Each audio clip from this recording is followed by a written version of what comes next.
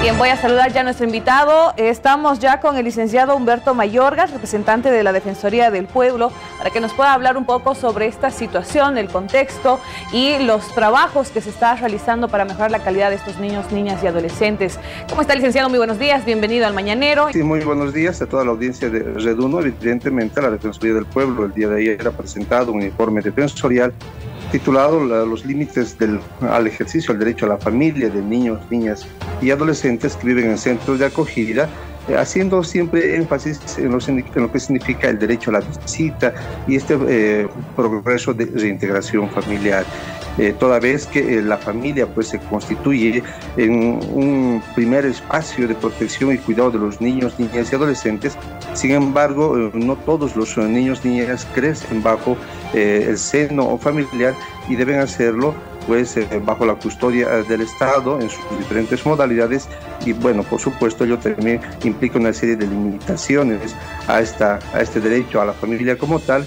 Y eh, mm, eh, pues eso implica también en algunas situaciones eh, algunos aspectos que hay que analizarlos desde, desde, el Estado para que ellos puedan gozar de este derecho a la familia como tal. Si partimos inicialmente de que en Bolivia hay aproximadamente 5.345 niños, niñas y adolescentes que se encuentran bajo esta situación, el 63% de todos ellos, si bien tienen un referente afectivo, si bien tienen a la familia, el 40%, el 40 de estos eh, no recibe visitas, por lo tanto ya nos demuestra de que es necesario, a pesar de contar con la familia, de este nexo familiar para su propia reintegración familiar.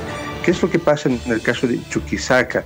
En Chuquisaca tenemos, en el departamento de Chuquisaca tenemos aproximadamente 430 niños y niñas distribuidos en 15 centros eh, de acogida, cada uno de estos con características eh, propias, ¿no? Por la naturaleza mismo de estos centros.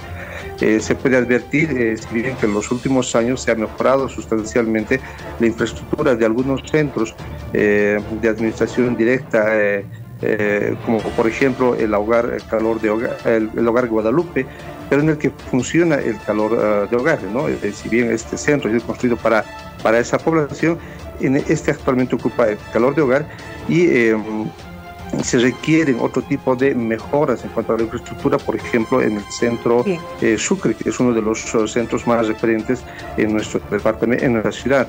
Lo propio sucede con el Centro de Solidaridad, donde eh, si bien alberga adolescentes con responsabilidad penal de todo el departamento, ha quedado ya chico este espacio y es necesario eh, brindarle las condiciones adecuadas para que usted pueda también trabajar en el tema de la reintegración familiar con, con todos ellos. Eh, pero además hay algunos aspectos que hay que irlos viendo de acuerdo a las visitas que se Adelante, adelante. Por favor, si me permite, eh, hay que ser un poco más concisos en esta entrevista y también quiero que usted pueda escuchar la opinión de la población sobre este tema. Y la pregunta que les hemos lanzado es a la población, ¿quién debe fiscalizar los centros de acogida de niños, niños y adolescentes? Y esto es la apreciación de la población. Adelante. Que seguramente están ah, al pendiente de, de los niños, pero no sé, no creo que no hay interés de las personas para visitar los centros de acogida. Las autoridades en primer lugar deben estar uh, al tanto de los niños, ¿no? Porque ellos tienen el cargo de cuidar a los niños, ellos son como padre y madre, pero tal cual no se ve la, no se, no se, no se ve como corresponde, ¿no? Como padres. Ellos están en su deber de, a veces los niños entre ellos pelean, no cuidan y bueno, ¿dónde están las autoridades? Pues el gobierno, ¿no? El Estado está, una de las funciones del Estado es cuidar a los niños.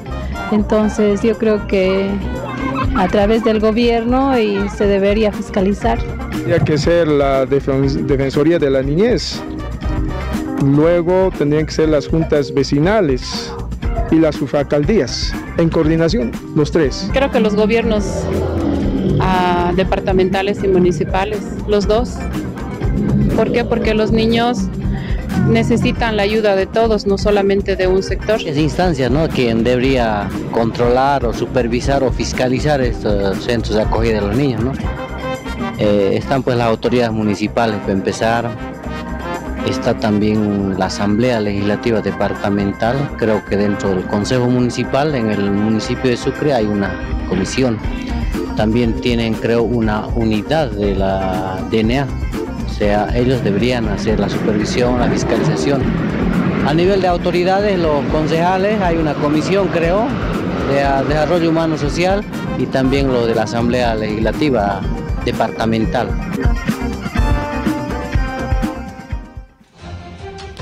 Bien, defensor, para cerrar ya esta entrevista, su apreciación sobre la opinión de la población y claro, los eh, eh, retos que se tienen como autoridades ustedes para poder mejorar la calidad de estos niños y niñas que dependen de estas instituciones y que de seguro el trabajo no solamente es de una área, sino cubrir y garantizar salud, educación, calidad de vida y de otros aspectos que conllevan.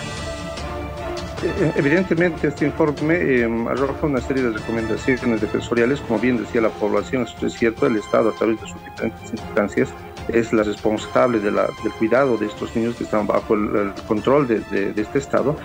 Por eso, como indicamos, el tema de infraestructura, el tema de nutrición, el tema de control de acceso de medicamentos, eh, debe ayudar mucho para, debe reforzarse, mejor dicho, para eh, lograr una reintegración familiar adecuada. Eh, este informe es importante porque establece estas recomendaciones que deben ser asumidas desde el nivel central, departamental y municipal.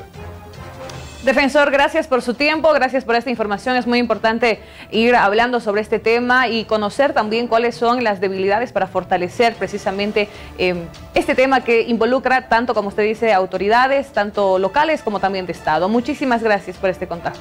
Muy buenos días, muy buenos días.